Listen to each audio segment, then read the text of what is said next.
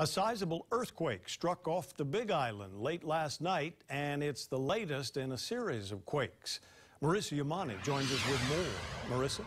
Well, Joe, people as far away as here in Oahu say they felt last night's quake. The magnitude 4.2 quake struck at 1116 last night, about 70 miles north of Hilo. A smaller magnitude 2.9 quake also struck yesterday off the Hamakua coast at 127 in the afternoon. There was also a magnitude 2.9 earthquake at 8:19 yesterday morning near Mauna Loa.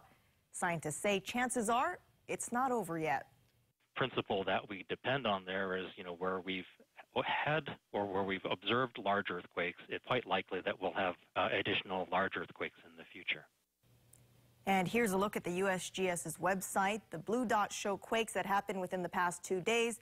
The bigger the dot, the bigger the quake. Now, the yellow dots are for quakes that happened over the past two weeks. So, as you can see, it's not unusual for folks on the Big Island to feel a little shaking. But what is unusual is the quake that struck central Maui on Monday just after 4 in the morning, a magnitude 3.6 quake.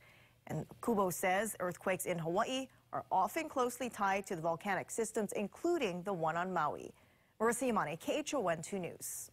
For more on these earthquakes, Justin Cruz joins us from the Forecast Center. Just?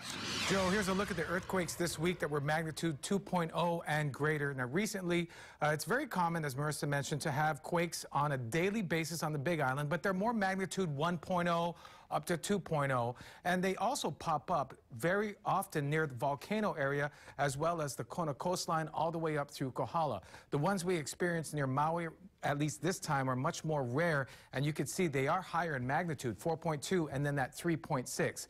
Generally, when we see quakes in Hawaii, it's due to the massive weight of the mountains pushing on the Earth's crust. So it's more of a structural adjustment versus California, Japan, and Alaska, where there are two large tectonic plates crashing into each other.